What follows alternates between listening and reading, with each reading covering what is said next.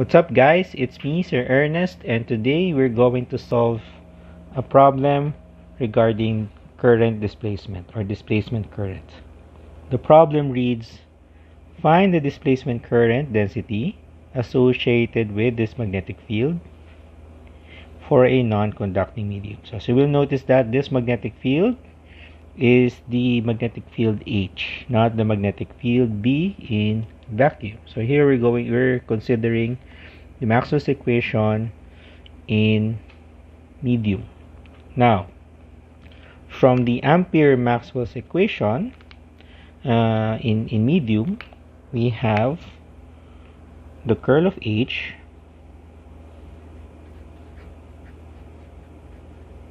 is equal to the free current F, JF, plus the derivative of the displacement uh, Uh, electric displacement D with respect to time. Okay, so from the equation of the magnetic field H, you can see that it only has two components. It has a it has an x component and a z component. So our x component is a function of x, z, and time. okay and the direction is x hat. On the other hand the z component is a function of x z and t as well.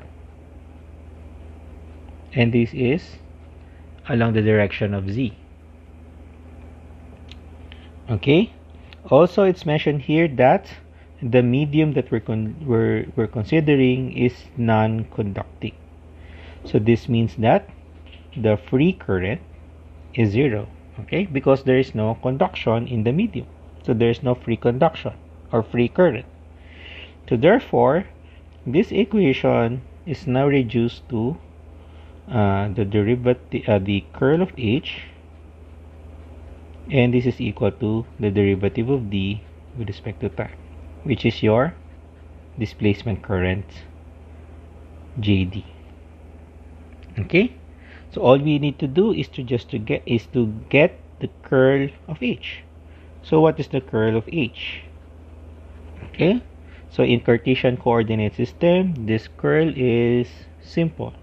This is derivative of the z component of h with respect to y minus derivative of the y component with respect to z x hat plus derivative of h x component with respect to z minus derivative of the z component with respect to x y hat plus derivative of h uh, the y component with respect to x minus derivative of h respect to x with respect to uh, with respect to y z hat. So from our setup earlier you can see that there is no y component okay? So this term and this term will cancel. Also the x and z components doesn't have a y uh, doesn't have a dependence on the y coordinate. So that means all partial derivatives with respect to y is also cancelled okay? So now we are now left with this equation now the derivative of the x component with respect to z. So this is your x component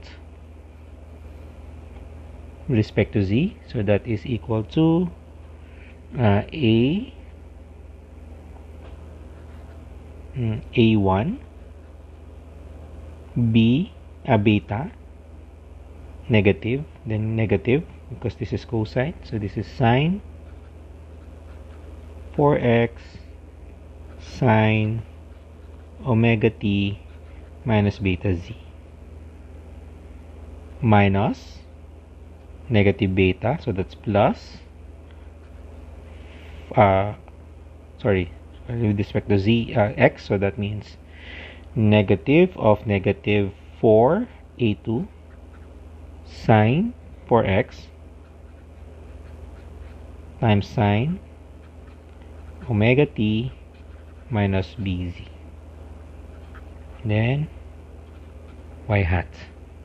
So therefore, the displacement current density JD is just simply equal to beta A1 plus 4 E2 times sine 4x times sine omega t minus beta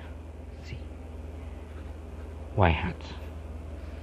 So this is the result or the answer to our problem. Okay, and this is the magnetic display or the displacement current associated with this magnetic field in a non-conducting medium. Simple, right? Okay, so no problem.